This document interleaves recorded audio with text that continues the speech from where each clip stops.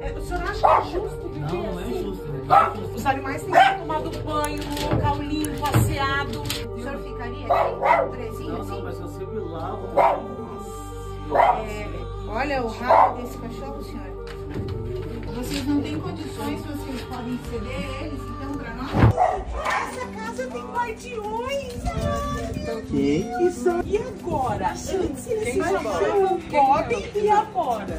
Esquece.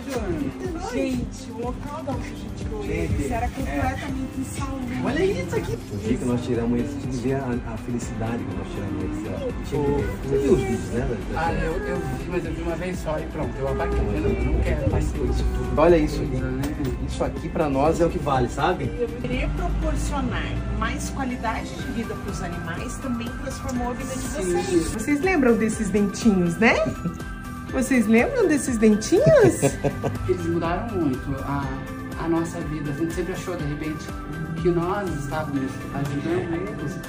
Completamente ao contrário. Realmente emocionante, assim, sabe? A gente vê da onde a gente tira, quando consegue um lar, quando consegue uma transformação de vida. Pra gente isso é gratificante. Você tem noção que você transformou a vida deles, né?